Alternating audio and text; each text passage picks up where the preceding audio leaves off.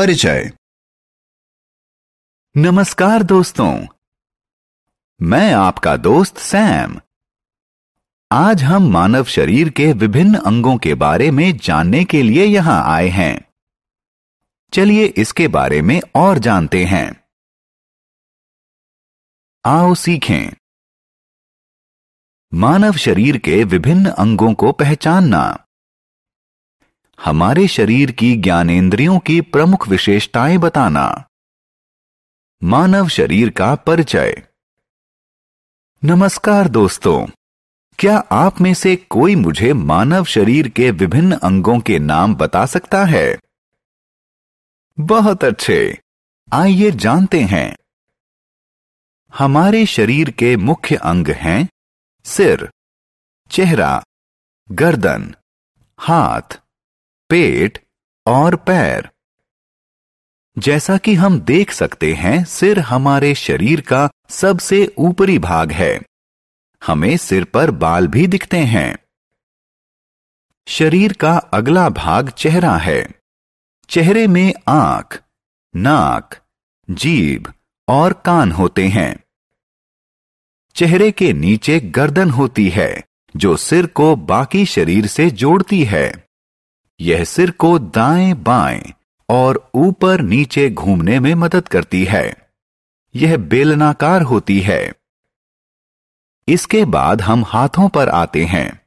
यह हमें चीज़ों को पकड़ने में मदद करते हैं। शरीर का एक अन्य अंग है पेट।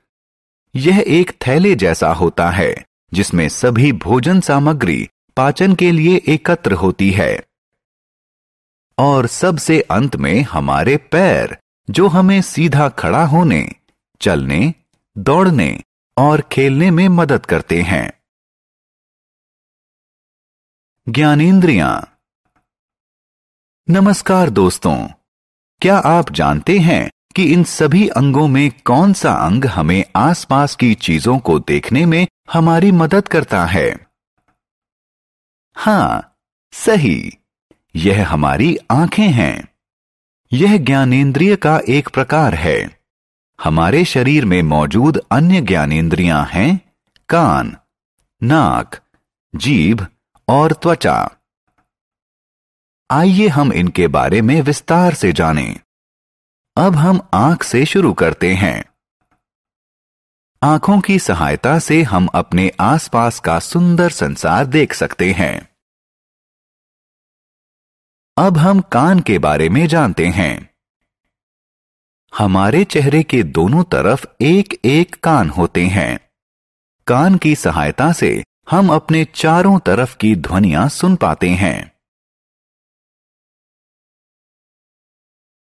दोस्तों, आइए हम अगली ज्ञानेन्द्रिय की तरफ़ बढ़ते हैं। हम अपनी नाक की सहायता से विभिन्न प्रकार की अच्छी और बुरी गंध सूंघ सकते हैं। हम सबको चॉकलेट खाना पसंद है, क्योंकि इसका स्वाद अच्छा होता है। लेकिन कौन सी ज्ञानेन्द्रिय हमें यह बताती है? यह ज्ञानेन्द्रिय हमारी जीभ है, जो चबाने, निगलने, बात करने और गाना गाने में हमारी सहायता करती है। हम अपनी जीभ की सहायता से विभिन्न खाद्य पदार्थों का स्वाद पा सकते हैं। दोस्तों, आखिरी ज्ञानेन्द्रिय है हमारी त्वचा। क्या आप जानते हैं कि त्वचा के बिना हम कुछ भी महसूस नहीं कर सकते हैं? वास्तव में त्वचा ही शरीर के सभी अंगों को वहन करती है। यह शरीर की एक सुरक्षात्मक परत है।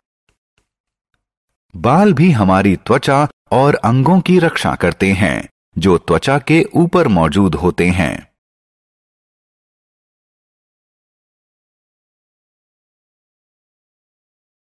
प्यारे दोस्तों, अब मैं आपको एक और महत्वपूर्ण चीज़ बताना चाहता हूँ। अपने शरीर को साफ़ और स्वच्छ रखने के लिए हमें रोज स्नान करना चाहिए। इससे हमारे शरीर से जीवाणु साफ़ होते हैं। इसीलिए हमारे माता पिता हमें रोज स्नान करने के लिए कहते हैं। हमने क्या चर्चा की? इस पाठ में हमने सीखा कि शरीर के विभिन्न अंगों को किस तरह पहचाने। हमने विभिन्न ज्ञानेंद्रियों और उनके कार्यों के बारे में भी सीखा।